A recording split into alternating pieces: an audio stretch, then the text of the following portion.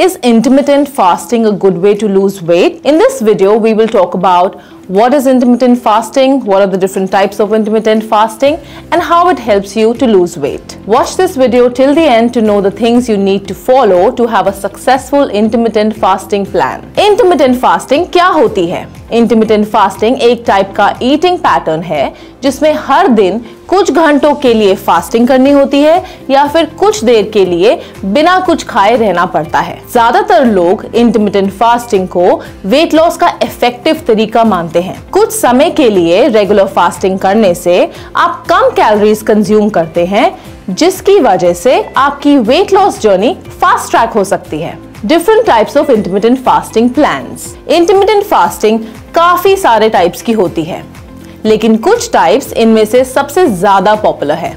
आज हम उनके बारे में बात करेंगे।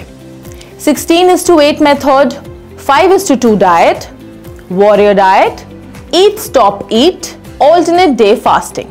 That's also called ADF.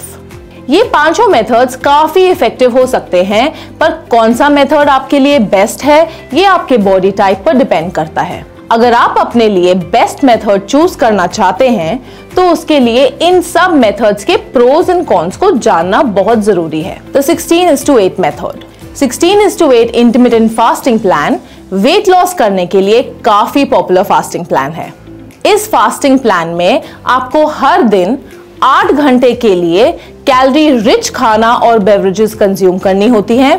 बाकी 16 घंटे आप लो कैलोरी बेवरेजेस कंज्यूम कर सकते हैं, पर खाना रिस्ट्रिक्टेड होता है। तो five is to two method five is to two diet एक काफ़ी सिंपल और इजी इंटरमीडियंट फास्टिंग प्लान है।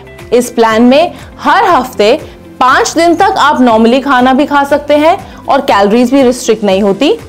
और बाकी के बचे हुए दो दिन में आपको अपना कैलोरी इनटेक अपनी डेली रिक्वायरमेंट का वन फोर्थ करना होता है। अगर आप रेगुलरली 2000 कैलोरीज दिन की कंज्यूम करते हैं तो आपको हर हफ़्ते दो दिन में अपना कैलोरी इनटेक खाली 500 कैलोरीज पर डे का रखना होगा।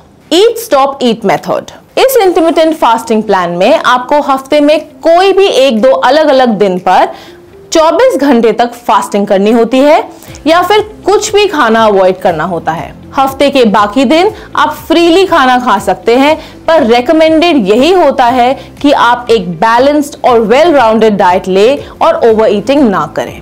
इस टेक्निक के पीछे का लॉजिक ये है कि आप हफ़्ते के दो दिन कम या ज़ीरो कैलोरीज कंज्यूम करेंगे, जो आपके वेट लॉस में काफ़ी हेल्प कर सकता है। Alternate day fasting alternate day fasting काफ़ी इजी फास्टिंग प्लान है, जिसको आप आसानी से याद रख सकते हैं। इस डाइट प्लान में आप हर ऑल्टरनेट दिन फास्टिंग करेंगे और जिस दिन आप फास्ट नहीं कर रहे, उस दिन आप अपनी पसंद का कुछ भी खा सकते हैं।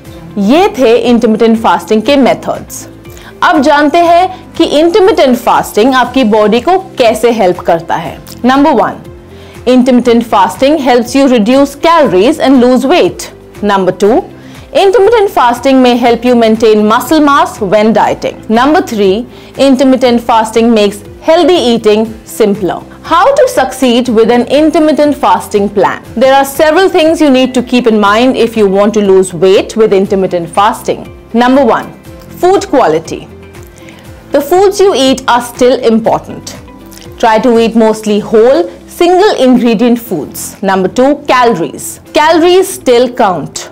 Try to eat normally during the non-fasting periods, not so much that you compensate for the calories you missed when fasting. Number three, consistency. Just as with any other weight loss method, you need to stick with it for an extended period if you want it to work. Number four, patience. It can take your body some time to adapt to an intermittent fasting protocol. Try to be patient and consistent with your meal schedule. Hope this video is helpful to you. For more such informational content, subscribe to the channel. Stay healthy and happy.